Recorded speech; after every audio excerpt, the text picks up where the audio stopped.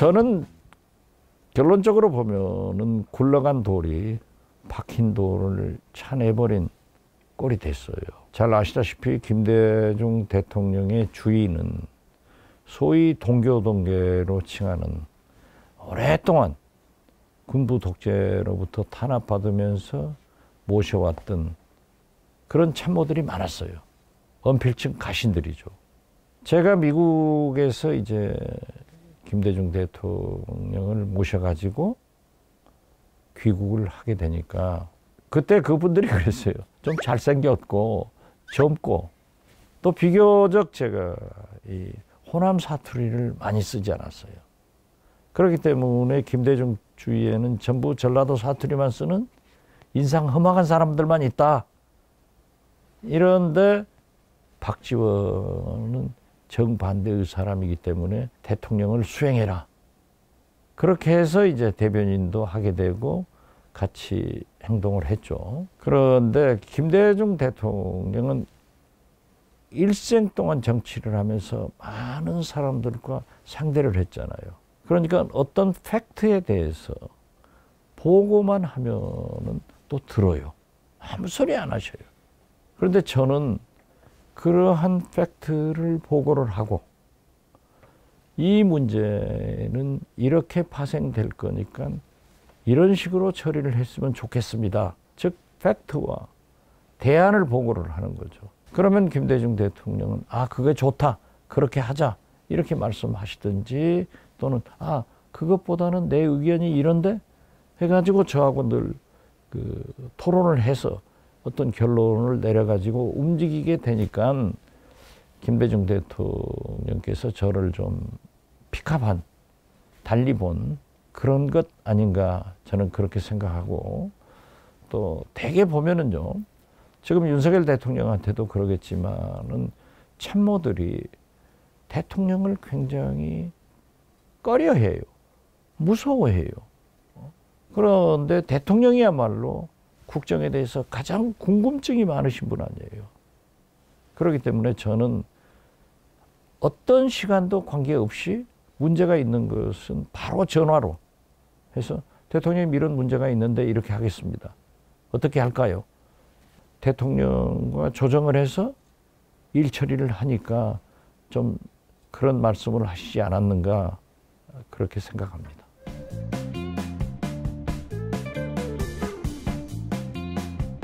성격이 굉장히 급해요. 화를 버럭 낸다고요. 지금 현재 조선일보 고문으로 계시는 당시 김대중 주필 제가 그런 얘기를 했죠. 김대중 vs 김대중. 김대중 대 김대중이다. 얼마나 김대중 대통령을 신랄하게 비판하시냐고요. 그런데 김대중 대통령의 언론관은 확실해요. 어떠한 것도 언론 first, first 언론이에요. 당선되는 승리하는 그 대선 때 1년 전에 저에게 조중동, MBC, KBS, SBS 이 6대 언론사는 매일 방문을 해라. 그리고 나머지 언론사는 격일제로 방문을 해서 설명을 해라. 특히 조선일보를 극복하지 않고 우리가 집권하겠느냐. 김대중 주필을 설득하지 않고 집권하겠느냐. 매일 가라. 그래서 매일 다녔어요. 김대중 주필이 글로도 그렇게 신랄하게 비난하지만은 저를 만나면 이루 형언할 수 없는 비난을 해요. 그런데 그 비난과 비판이 결코 나쁜 것만 있는 게 아니에요. 그걸 구두로 보고할 수 없을 정도로 신랄하면은 저는 A4 용지에다 하나 찍어가지고 이건 한번 읽어보십시오. 그리고 놓고 나와요. 이제 관저에서 얘기를 하면 그 차 타는 인수문까지 불과 뭐 3, 4분이면 오죠. 차에 막 타면은 그때는 핸드폰이 없었어요. 카폰 큰 글이 전화가 와요. 왜 자네는 이런 응? 문건을 나한테 주면서 읽으라는 거야? 화를 버럭 내요. 이게 뭐야? 하면은 제가 그래도 한번 읽어보십시오. 전화 끌어버려. 그래가지고 1, 2분도 안 돼서 금세 전화가 와요. 다시 들어와 봐라. 다시 들어가면은 화내서 미안하다. 너라도 이런 얘기를 나한테 꼭 해줘야 된다. 이렇게 하셨다고요. 그렇기 때문에 김대중 대통령이 화난 것을 무서워해서는 안 돼. 그리고 화냈어도 제가 보고한 것이 정당하면은 끝까지 한번 보십시오. 하고 하면은 금세 소화를 하고 당신이 잘못했고 오버한 것을 또 상대방한테 사과를 하고 고치는 그런 성격이에요. 내가 그래서 나오면서 그러죠. 내가 삼복에 개처럼 내가 얻어맞고 산다. 그러고 이제 비서들한테 웃고 나오는 거죠.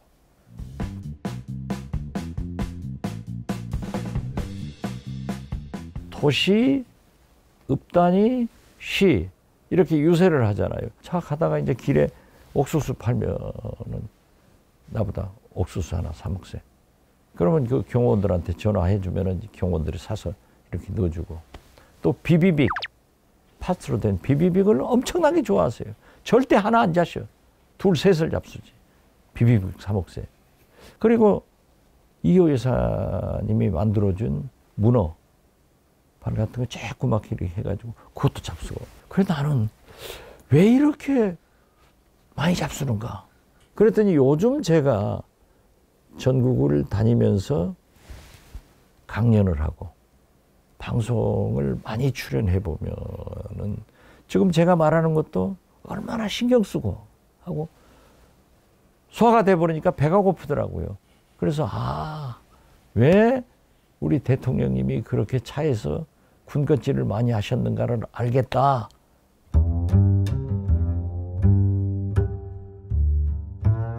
그 순간 대통령이 당선됐는데도 그렇게 기쁜 것보다는 굉장히 졸려서 잠이 자고 싶더라고요. 그래서 잠을 많이 잤어요. 그 수십 년간 그러한 일을 해오던 것이 성취가 되니까 안도의 잠이 아니었는가 그런 생각을 합니다. 사실상 대통령이 딱 당선이 되니까 누구나 일산 사절을 마음대로 출입하던 게 딱 차단되고 저만 들어갈 수 있었던 거죠.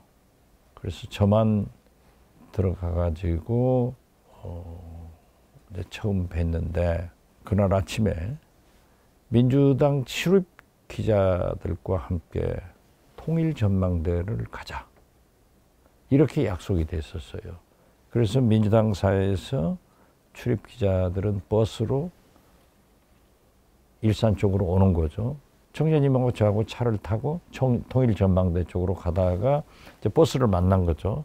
만나서 총재님, 저 버스로 옮겨 타십시다. 해가지고 기자들하고 버스를 같이 타고 통일 전망대에 갔어요. 그런데 거기 가셔서 그 북쪽 하늘을 바라보시는 그 표정이 너무나 진지하더라고요. 그래서 아 우리 총재님이 대통령 되신 것은 통일, 남북 평화를 이루려고 되셨구나. 그때 새삼스럽게 느껴지더라고요. 제1행보가 출입 기자들과 함께 통일 전망대를 가서 북녘 하늘을 바라보면서 느끼는 감회를 기자들한테 설명하는 게 기자는 1호 국민 아니에요. 민주주의에 대한 국민과의 소통을 맨 먼저 시작하면서 그 국민의 소리를 기자들로부터 듣고 또 당신이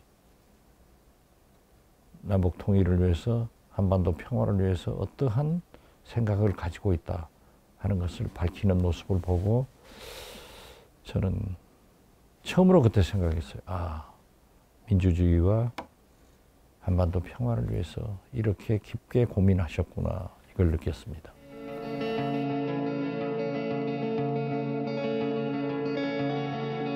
제가 가장 큰 감동을 받은 것은 저희는 알고 있었죠. 김대중 대통령한테는 출생의 비밀이다.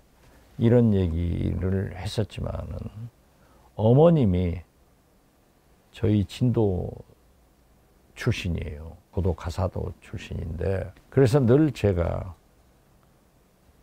대통령님이 이렇게 머리가 좋고 똑똑한 것은 진도의 피를 받았기 때문에 그렇습니다. 하면 이 사람은 말이지 응? 하이도가 얼마나 어? 유명한 곳인데 진도 얘기만 하는 거야. 아니 그러면 어머니를 부인하십니까?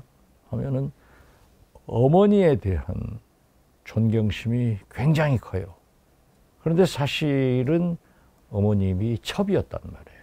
자기 아버님 김대중 대통령의 아버님은 굉장히 한량이셨대요. 농사도 많이 지었지만 노래도 좋아하고 놀기 좋아하고. 그래서 그 어머님이 그 분한테 재가를 해와서 하이도에서 선술집 같은 것을 했어요. 주막을 했단 말이에요. 그리고 목포 이주를 하셔서도 목포 선창가에서 그러한 여관 같은 그런 일을 했기 때문에 그런데 자서전을 쓰시면서 자기 어머님이 첩이었다. 그걸 공개를 하자 하더라고요. 제가 굉장히 반대를 했어요. 아니, 자제분들도 이렇게 성장했고 손자, 손녀들이 있는데 어떻게 그런 얘기를 할 수 있습니까? 모르면 되는 거 아닙니까? 그렇지만은 자서전에도 기록하고 있지만은 우리 어머니도 이러한 것을 이해하시고 또 내가 솔직하게 자서전에 고백한다는 것을 국민들이 알아야 될 것 아니냐. 그래서 나도 숨기고 싶지 않다 라고 하더라고요. 지금 또 젊은 세대들은 이해를 못하죠. 부인이 둘이고 왔다 갔다 하고 살았다. 이런 것을 꼭 밝혀야 되는 거 했을 때, 그, 아주 처연한 표정으로 이걸 밝히자라고 했을 때 저는, 아, 김대중의 인간이 저러한 점을 내가 미처 몰랐구나 하고 진짜 인간적으로 존경심이 가더라고요.